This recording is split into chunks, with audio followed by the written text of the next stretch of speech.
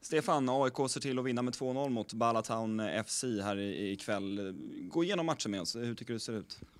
Eh, vi möter ett väldigt defensivt lag som egentligen ställer 8-9 spelare runt sitt straffområde. Eh, och eh, vi ska egentligen bara försöka trä igenom bollar och, och, försöka komma till mycket avslut och göra det riktigt svårt för dem och, och ta död på deras kontringar. Och, ta död på deras kontringar tycker vi är bra. Eh, de har väl egentligen en chans efter vad det, 30 sekunder och sen så har de en i, i 90 som är lite halvfarlig men som, som tur var är offside då. Så att, en chans på, på 90 minuter så defensivt gör vi det väldigt bra. Däremot så offensivt så bollen går lite väl långsamt ibland. Vi, vi spelar den närmsta gubben lite för ofta istället för att hoppa över en spelare och göra så att de måste göra lite större förflyttningar. Eh.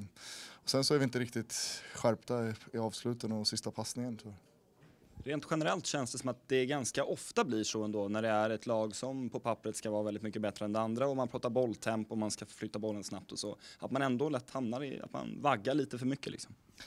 Ja, det är det som är svårt, man vill inte gå för ett, på ett för snabbt avslut heller och, och låta dem få lugn och ro utifall att man missar det avslutet. Så att man vill ju liksom spela upp sig och sen så komma till ett bra avslut och sen så ibland så blir det ju att de gör det bra också defensivt och att de låser in oss i, i vissa ytor. Och, äh, så att äh, det är en blandning där men äh, vi borde kunna ha gjort lite bättre idag tycker jag. Men vi skapar mycket chanser så att det är lite sådär otur också. Jag har något skott som går precis utanför, Carlos har ja, det är egentligen två frilägen. Isak har två, två skott som tippas precis utanför. Vi har skott i stolpen, vi har Dennis skott utanför, vi har Christos nick och så vidare. och så vidare. Så det är väldigt många avslut eh, som ändå är bra och går på mål och så vidare men eh, den vill inte riktigt trilla dit. Eh, som tur var gör min ett jättefint mål och Nisse också ett jättefint mål så att eh, 2-0 är en bra, ett bra hyfsat resultat. Jag ska inte säga bra ett hyfsat resultat. Eh, vi hade varit mycket mer nöjda med 3-4-0 och åka till Wales med.